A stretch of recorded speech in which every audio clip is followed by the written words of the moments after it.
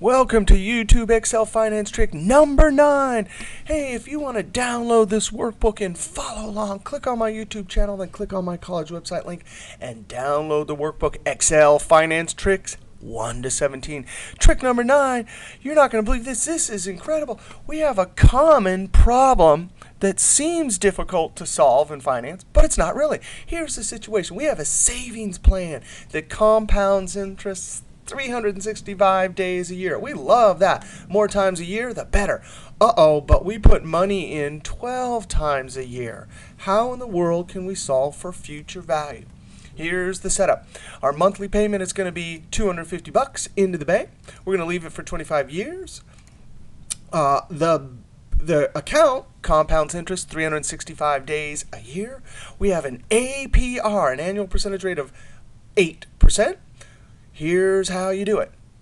You first take this APR or nominal rate and calculate what the effective rate is.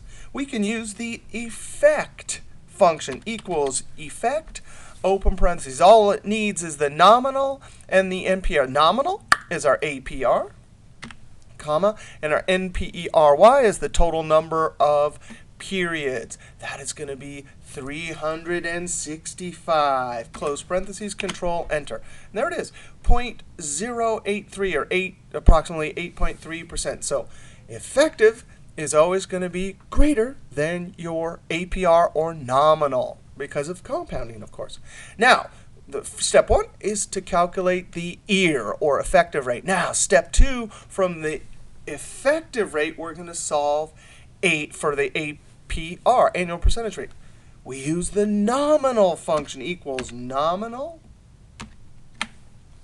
And this just needs, it's the same as the effective, except for it wants the effect instead of the nominal. So we're going to click boop right there, comma, and here's our 12. Close parentheses. Now we have our APR. We can just find the period rate. And that's the rate we're going to use to solve for future value. So you ready? Period rate, of course, is equals the annual rate divided by the number of compounding periods. Enter. Finally, once we have our period rate, boom, we're ready to go with the future value. Equals FV, open parentheses. Hey, all of the arguments in these financial functions, very important. The unit has to be the same for all of them. So for instance, uh, we're doing monthly, so we have our monthly rate, total number of months, and cash flow matters. So we have to make sure we get all our cash flow signs, positive or negative, correct. Rate, we're going to click right there. Then I'm going to hit comma. NPER is next.